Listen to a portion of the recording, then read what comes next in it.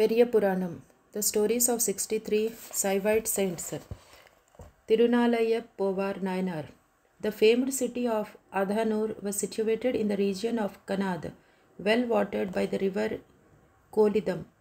On the outskirts of this place, amidst, amidst his fellows of the lowly class, lived Nandanar, deeply devoted to the glorious feet of Lord Shiva every conscious moment.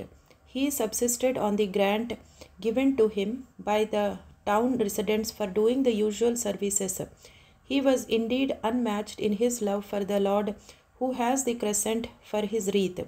His thoughts were ever pure and did not stray into other paths, even though forget even through forgetfulness.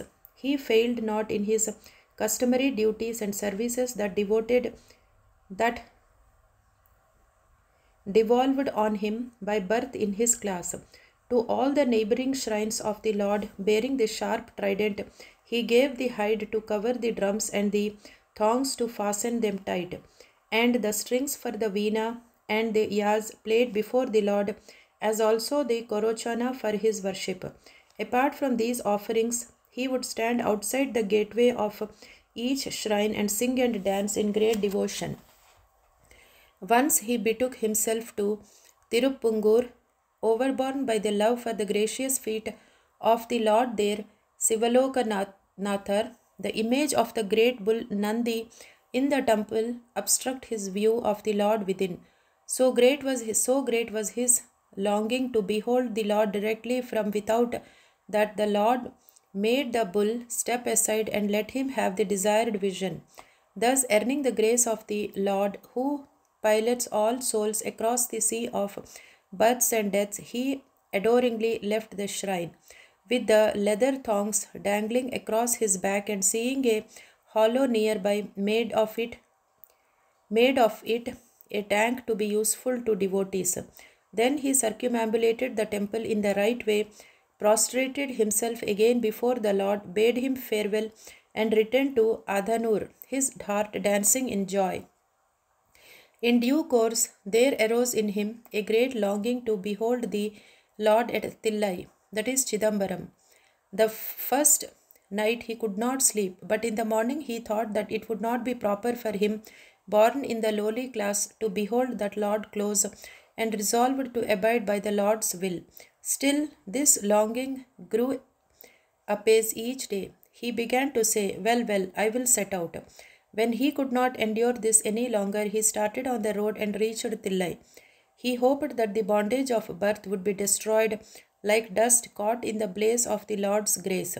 Reaching the outskirts, he beheld the sacrificial smoke rising in the skies from within the city and the cloud kissing tops of the mansions. Straightway he remembered his lowly birth and was afraid to go nearer. There will be the hallowed three thousand servitors of the Lord within, with the smoking altars in each mansion. How can I dare to cross those courtyards? He stood by the high walls of the temple city and began to skirt them around, all his limbs and heart melting in love for the Lord. His hands stretched him stretched high in adoration, circumambulating the walls night and day, despairing of ever beholding the Lord of the blue throat from his courtyard. Nandanar fell asleep from sheer weariness. Even in his sleep, he, the thought of his lowly birth, a grievous, bar, a grievous bar to his salvation, was uppermost. The gracious dancing Lord now chose to allay all the sorrows of his devotee. With a gentle smile playing on his lips, he spoke. To get rid of this birth, you may enter the flaming fire and emerge hallowed in the company of those wearing the three stranded sacred thread. At the same time, the Lord commanded his high servitors also to arrange the fire. All the three thousand gathered before the Lord of the assembly in great fear and resolved to do his bidding. With overflowing regard, they approached Nandanar and exclaimed, O Master, we have come here unto your gracious presence to prepare the fire bath for you at the Lord's behest. At these words, the great devotee set out a heartfelt adoration, exclaiming, Ah, I have been saved. The high servitors chanted Vedic hymns. The fire was lit outside the southern wall of the temple. Knowing this, Nandanar went around it with the Lord's feet firmly planted in his heart. He lifted his hands in adoration and, meditating on the dancing feet of the Lord, plunged into the flames. Straightway he left off the common illusory body and emerged like a hallowed sage with shining sacred thread and matted tresses looking like Brahma himself seated on the lotus. The celestial drums bare a thunderous roar. The heavenly denizens broke out in glee and showered the kalpaka flowers on Nandanar. All the sacred servitors of Thillai too folded their hands in adoration. All other devotees were beside themselves with joy. Then the sage, who had come to be known as the devotee who would go to the Lord on the morrow,